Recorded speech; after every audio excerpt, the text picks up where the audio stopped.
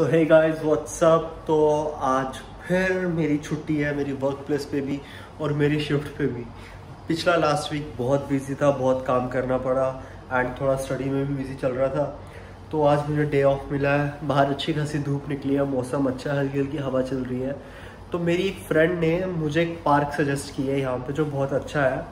uh, ये basically सेलियोक वाले area के शायद आसपास है कहीं पे मुझे पता नहीं actually I am going for the first time but बस वही लेनी पड़ेगी जो मैं सैलियो के लिए लेता हूँ।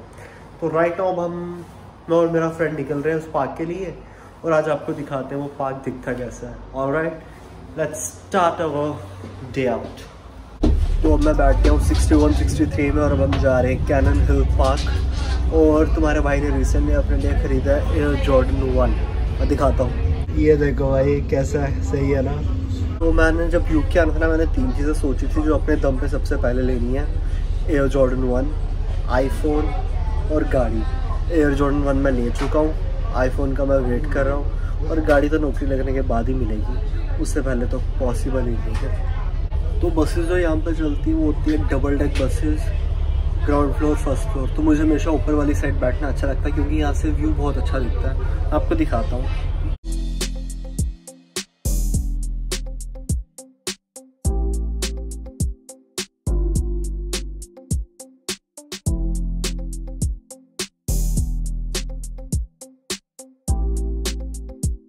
भाई, बस से तो मैं उतर गया हूँ बट यहाँ से अभी आगे दस मिनट की वॉक है। तो चलते हैं। ये अब हम लोग पहुँच गए हैं कैनन हिल पार्क में। अब मैं आपको दिखाता हूँ यहाँ का व्यू लिटरली भाई, ऐसी ना हरी भरी जगह पे आके, जहाँ पे ऊपर इतना अच्छा आसमान हो, मेरा दिल ना खुश हो जाता है। क्या व्यू है और क्या मौसम है आज यूके में। मज़ेदार। एकदम सही है। और बहुत सारे लोग यहाँ पे आए हुए हैं। देखो यहाँ पे कितनी सारे बर्ड्स और कितनी सारी डक्स हैं।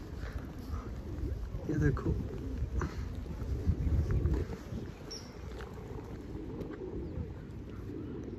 वक वक। वक वक।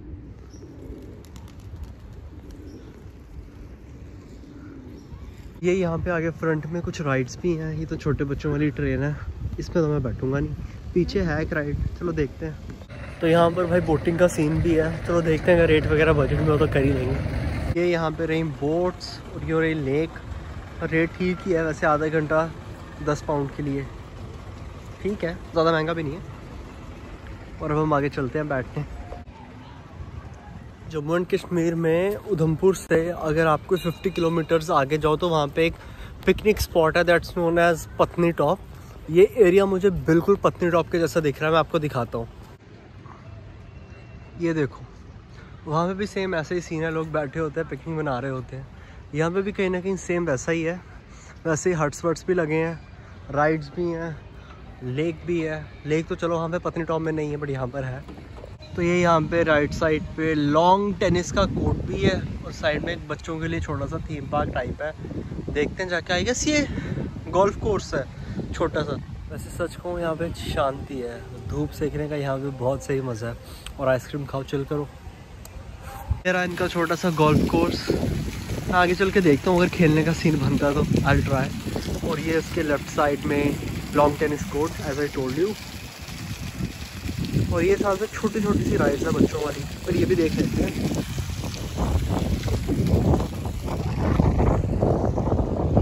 नेक्स्ट टाइम मैं जब यहाँ पर आऊँगा ना, अपने लिटरली स्केट्स लेकर आऊँगा, क्योंकि यहाँ पे बहुत अच्छी जगह बनी है स्केटिंग के लिए, और यहाँ पे स्केटिंग करने का बहुत मज़ा आएगा।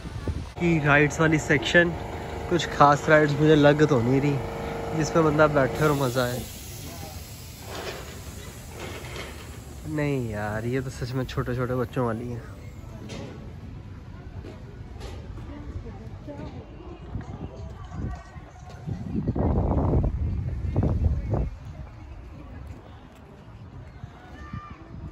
ओवरऑल तो ये मेरे को पार्क बहुत अच्छा लगा। लिटरली आराम से यहाँ पे धूप देखने के लिए चिल करने के लिए बहुत बढ़िया पार्क है ये।